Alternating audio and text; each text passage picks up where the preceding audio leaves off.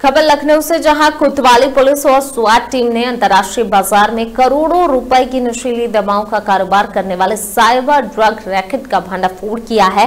Police ने दो सगी भाई समेत तीन आरोपियों को गिरफ़्तार किया। पुलिस ने पकड़े गए आरोपियों के पास से नशीली दवाएँ, लैपटॉप, लग्जरी कार और नकदी बरामद की है। आरोपियों के ज़रिए यूएसए और यूके में करोड़ों रुपए की नशीली दवाओं का कारोबार किया जा रहा था।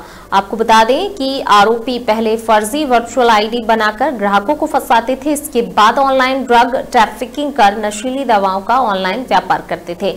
ऑनलाइन ऐप और क्रिप्टो करेंसी के ज़रिए ऑनलाइन पैसों का ट्रांजेक्शन भी होता था।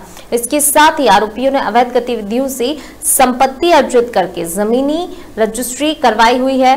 50 लाख रुपए की महँगी गाड़ियाँ घड़ी लैपटॉप और मोबाइल फ़ोन खरीदे गए हैं, जिन्हें पुलिस ने बरामद कर लिया है। लखनऊ से वकास बारसी की रिपोर्ट।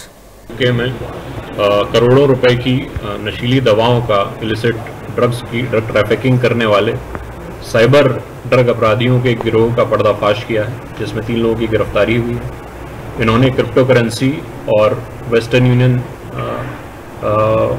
और पेपाल और कंपनी बना के करोड़ों रुपए का ट्रांजैक्शन इसमें किया है, जिसमें से इनको दो करोड़ से ज़्यादा का प्रॉफिट मिला है। अवैध ड्रग्स को ये अपने एजेंट्स के माध्यम से अमेरिका में जो ऑलरेडी रहते थे